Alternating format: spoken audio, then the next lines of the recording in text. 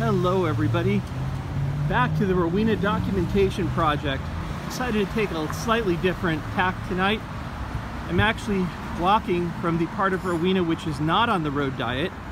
This is a part that runs by, uh, by the Reservoir Park and uh, walking toward Hyperion.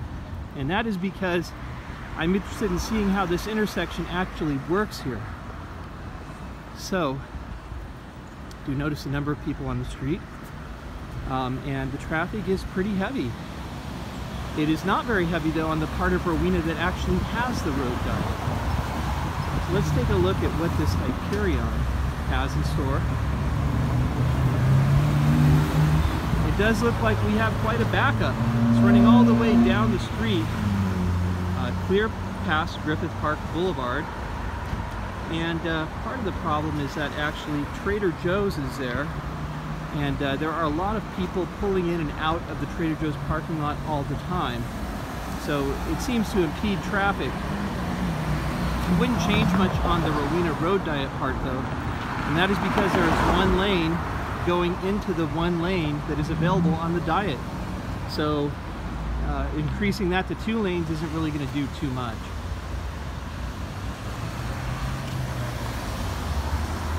What you can see here also though is, is a preview of what the road diet would look like when it was removed.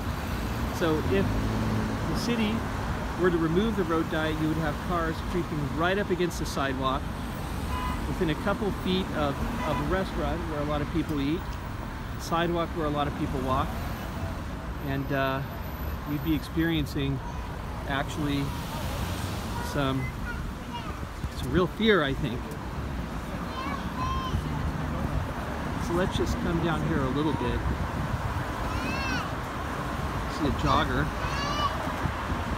It's a beautiful evening out. A little bit later tonight, probably about 7, 10 p.m. instead of my usual 6 or 6.30.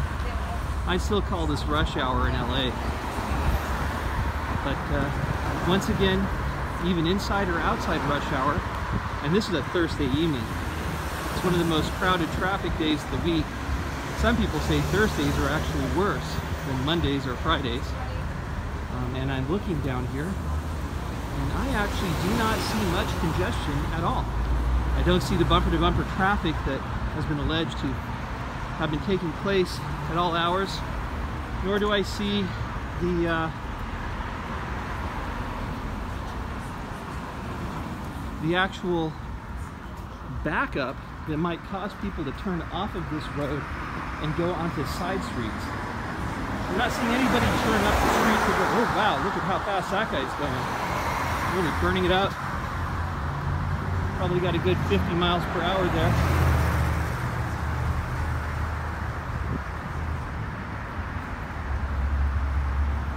I don't see see somebody making a right there. Don't see a steady stream of cars turning up toward Waverly though. Waverly Terrace that is.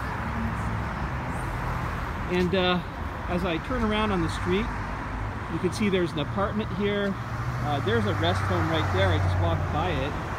Apartments on the other side of the road. Another set of apartments. This is another rest home here. new townhomes are up ahead. What's a little bit deceptive about Rowena is that the lots are really, really deep. So when you do see some commercial buildings, there are actual residences behind those commercial buildings. For instance, behind City Acupuncture is what I believe is a residence where somebody lives. Here's a little bungalow fort. This has been here for years. Beautiful.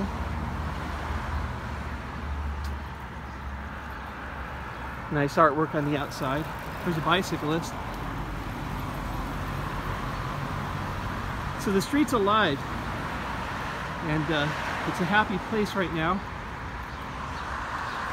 And I guess I'll catch up with you tomorrow morning when we uh, take another stroll along this supposedly but actually not congested part of Rowena.